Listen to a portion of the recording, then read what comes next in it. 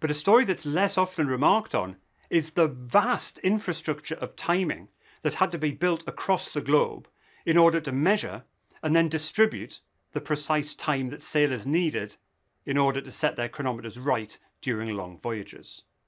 But I think infrastructure is pretty important too, which is why I spend so much time studying it and exploring it.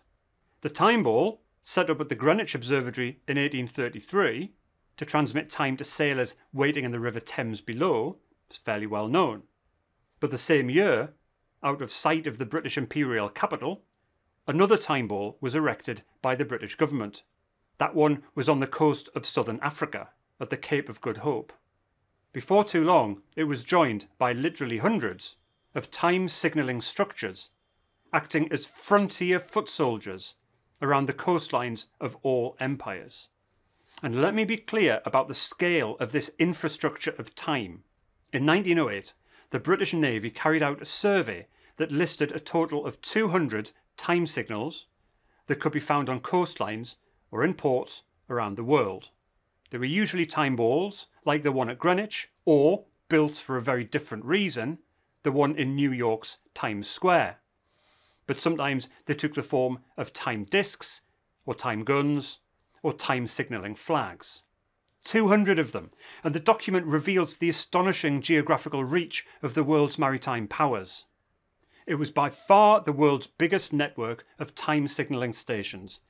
But by 1908, the year the survey was published, America was fast catching up as a world power, having built 22 coastal time signals on its own soil, with a further two in its port possessions in the Philippines.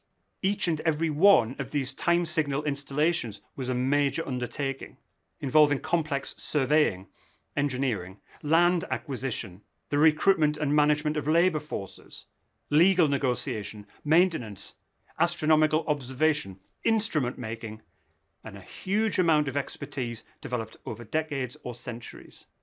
Each one was a heavy investment and a long term liability, and taken together with the tens of thousands of shipboard chronometers for which they were built, and the global network of chronometer testing stations, chronometer and clock makers, retailers, supply depots, not to mention the dozens of government astronomical observatories that found the time in the first place to distribute across this network.